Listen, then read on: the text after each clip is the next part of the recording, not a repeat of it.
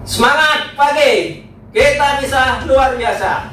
Perkenalkan, nama saya Marsilo, NRP 8210014. Pada kesempatan hari ini, saya akan menyampaikan materi untuk overhaul cylinder head BD Small. Langkah selanjutnya adalah persiapan atau preparation. Yang harus kita persiapkan adalah shock manual, book, key acid, dan alat-alat ukur dan alat measurement lainnya untuk proses overhaul cylinder head. Sebelumnya saya akan menjelaskan fungsi dari cylinder head. Salah satunya dia fungsinya sebagai tempat uh, komponen ruang bakar contohnya adalah tempat dudukannya nozzle kemudian sebagai tempat kelengkapan komponen-komponen mekanisme valve yaitu ada valve valve stem, valve spring dan lainnya. Kemudian juga sebagai masuknya saluran intake. Yang dari sini nanti melalui intake pipe kemudian selanjutnya adalah sebagai saluran buang yang akan hasil dari pembakaran. Nanti akan keluar dari sini dan diteruskan ke exhaust manifold. Tipe-tipe dari cylinder head ada dua yaitu tipe solid dan tipe segmen dan yang solid umumnya terpasang pada unit-unit alat berat yang kecil seperti PC 200, 300 artinya solid jadi silinder head itu jadi kesatuan dari nomor 1 sampai nomor 6 kalau yang seperti ini memakai tipe segmen karena uh, bisa kita lepas satu persatu silinder headnya. Langkah selanjutnya disassembling cylinder head. Kita ikuti sesuai dengan prosedur yang ada di QA nya yang pertama adalah setelah silinder head itu dibersihkan kita lepas bagian-bagian yang ada di silinder head yaitu ada spring valve-nya kemudian ada valve isinya cara melepasnya kita gunakan spring pusher. Caranya kita masukkan kita putar kemudian kita paskan. Nah lock di sini adalah ada valve coletnya kita tekan baru kita gunakan magnet magnetic tool untuk untuk melepasnya. Setelah itu baru kita kendorkan pelan-pelan baru kita lepas.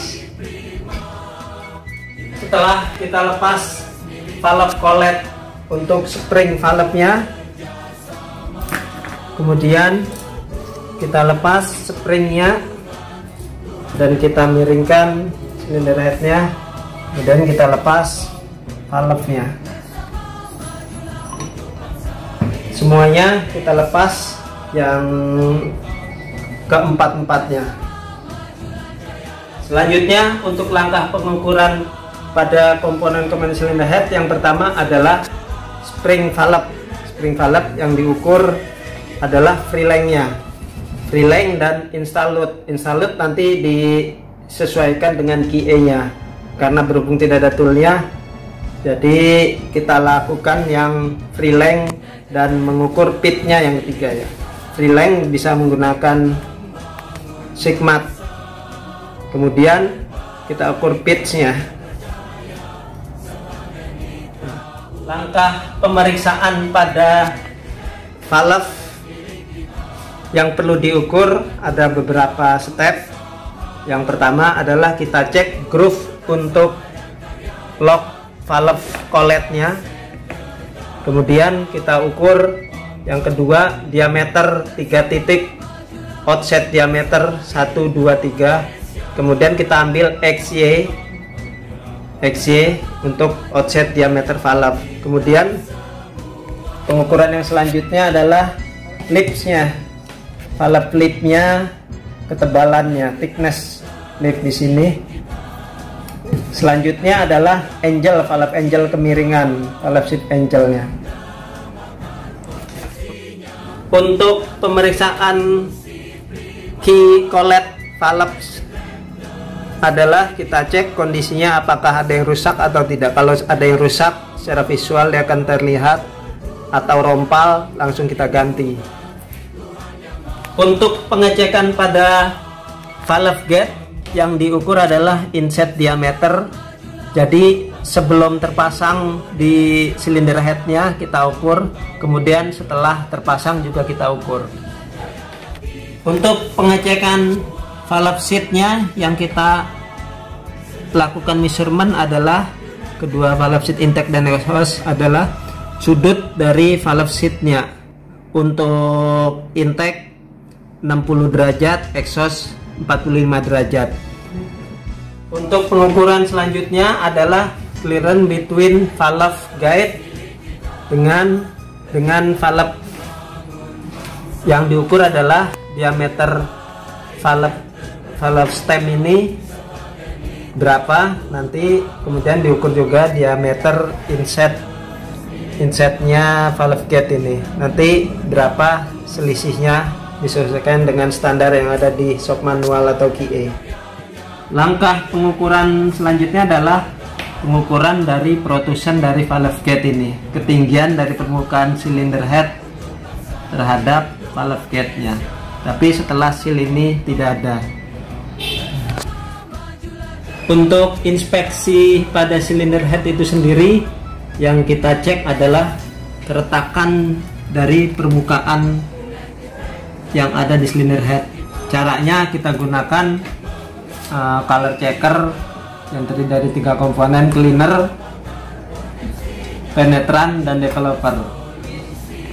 Jadi cara penggunaan color checker adalah pertama kita semprotkan dulu permukaan ini dengan menggunakan cleaner.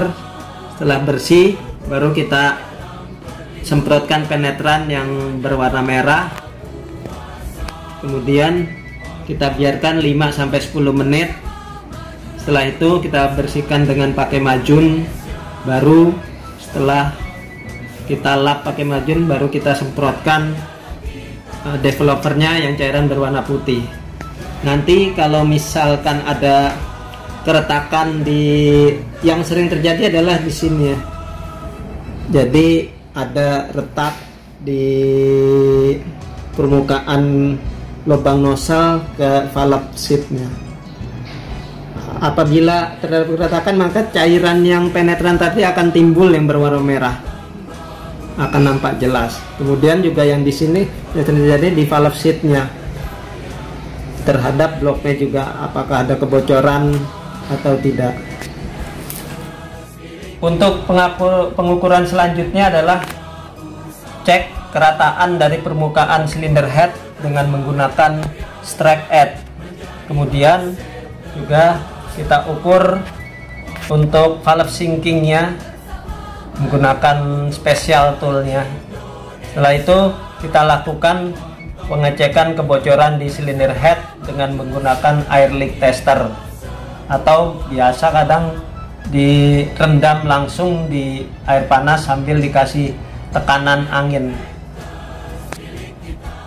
Langkah pengukuran selanjutnya adalah protrusion nozzle.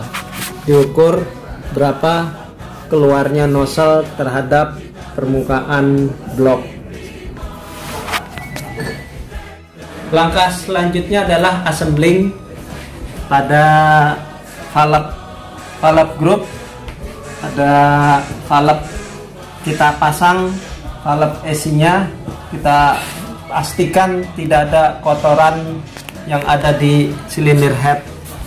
Setelah itu kita assembly valve, valve seat dan springnya critical pointnya adalah pada saat pemasangan pemasangan valve colletnya jadi setelah terpasang di springnya kita pukul-pukul dengan menggunakan uh, palu karet atau palu plastik agar benar-benar duduk di groove-nya. Langkah selanjutnya setelah valve valve-nya terpasang, kita lakukan pengetesan dengan diberdirikan salah satu saluran intake atau exhaustnya menghadap ke atas. Setelah itu baru kita isikan dengan menggunakan thinner. Nanti apabila ada kebocoran maka akan tampak di sini. Kalau ada kebocoran baru kita lakukan repair pada valve valve seatnya atau valve stemnya. Untuk pengetesan kebocoran setelah terisi thinner atau bensin tunggu selama 30 detik apabila tidak ada kebocoran di permukaan valve seat dan valve-nya maka lakukan langkah selanjutnya oke demikian uh, penjelasan dari saya langkah-langkah prosedur overpull cylinder head pada unit bulldozer small. Terima kasih semangat pagi